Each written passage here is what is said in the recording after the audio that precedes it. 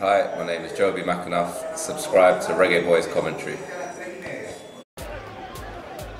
Force down. Again, space. Dangerous stop across the face of goal. It's put into the net. That is what I'm talking about, Donald. Boys Town go ahead, and they made it look all so easy. At the compound.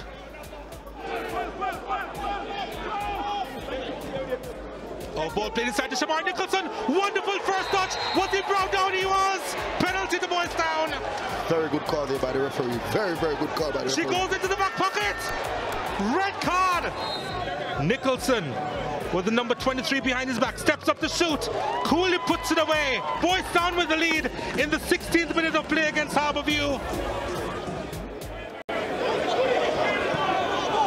Well, here's Harbourview trying to come forward, looking for a response quickly, and they get it! 1-1 here at the compound. Poor mark. Macaulay Tullock puts that away for the Stars of the East. Pretty ominous. Can they get the equalizer?